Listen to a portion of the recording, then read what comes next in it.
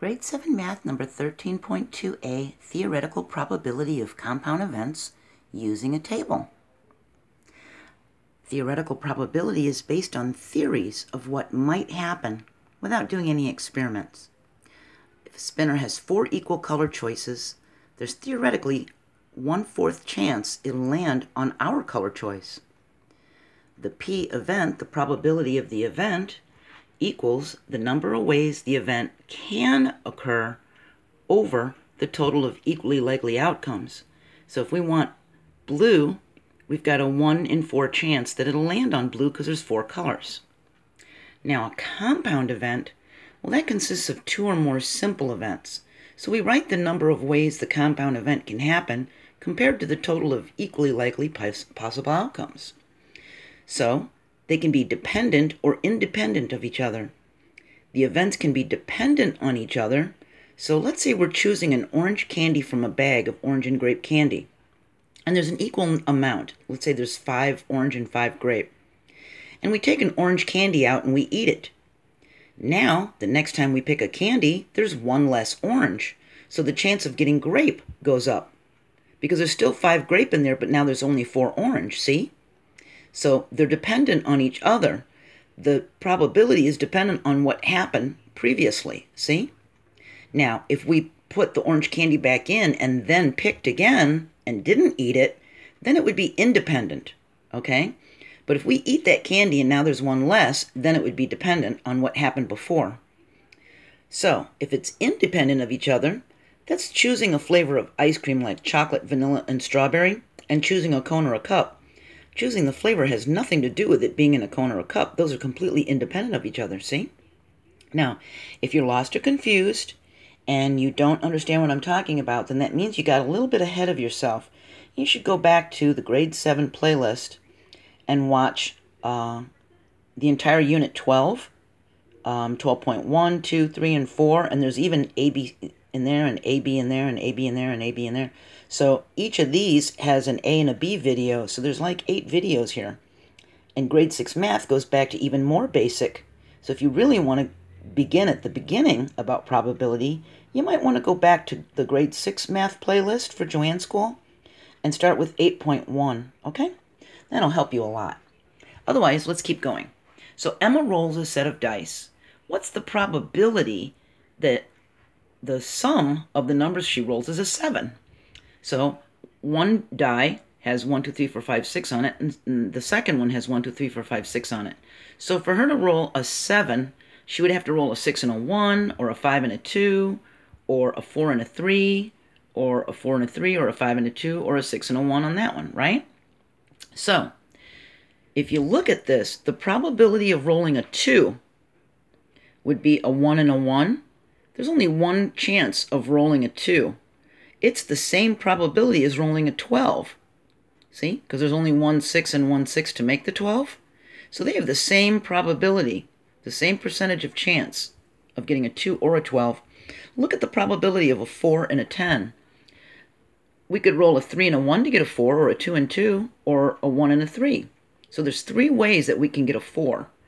And there's three ways we can get a 10. So the probability of getting a 4 or a 10 is the same. See that?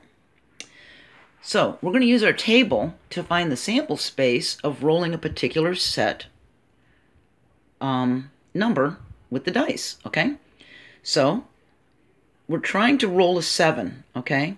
So we can see there's six different ways that she can roll a 7, but there's 36 possible rolls. With all the combinations and ways that the dice could land, there's 36 choices. There's 6 times 6. Now, to find the outcome that could be 7, which there's 6 chances that it could be a 7, that means 6 out of 36 chances it could be a 7. See that? Or a 1 6 chance that she's going to roll a 7. All right? So that would be theoretical probability. We're not rolling the dice.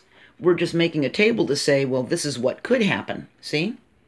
It's the number of ways the event can occur over the likely outcome. See? It could happen six different ways out of 36 ways. And we're not doing the experiment, so it's theoretical. Now, I wanted to explain this to you. there's a thing called the fundamental counting principle. It's an easier way to determine outcomes when a table, list, or tree is just too large to use. What if you have too many options? So, there's an event A and event B, and they're independent of each other, okay? If event A can occur in M amount of ways, in that many ways, and event B can occur in N ways, then they occur together in M times N. See, you would multiply them, all right? So let's take a look at what would happen with pizza, all right? So we've got a small, medium, or large pizza, and here's the toppings. We can have cheese, cheese and pepperoni, cheese and sausage together, cheese, pepperoni, and sausage together, or we could just have pepperoni and sausage together, or we could have plain pepperoni or plain sausage. So that means there's seven, seven different ways we could do these toppings. Now there was three different sizes, but now we have seven different toppings. Or we could choose a crust, thin crust or deep dish. Now we have two different crust types. Well, that means that the event size, the event for A is the size, okay? Event B would be the topping, and event C would be the crust. And to find out how many different ways we could combine these, well, there's three different ty- types of size, so that's three ways. There's seven different ways to combine the topping, so the probability of the topping is seven ways, and the crust is two ways, thin or deep. And then what we do is we multiply them like it says here, m times n. Except now we got three of them. So we're going to do 3 times 7 times 2. 3 times 7 is 21. 21 times 2 is 42. So there's 42 different ways that we could order pizza from these combinations, see? See how that worked? And that's called the fundamental counting principle, all right? So you just find how many ways the first one can be done, find out how many ways the second one can be done, and you could have five different choices. You could have size, topping, crust. Uh, you could have different types of cheese. So each would be an event, and then you just multiply them to each other to find the complete way they can be combined. And in this case, the pizza can be combined into 42 different ways. All right? So that's using a table for theoretical probability of compound events, all right? Does that make sense? And we're going to make a tree next, a tree diagram.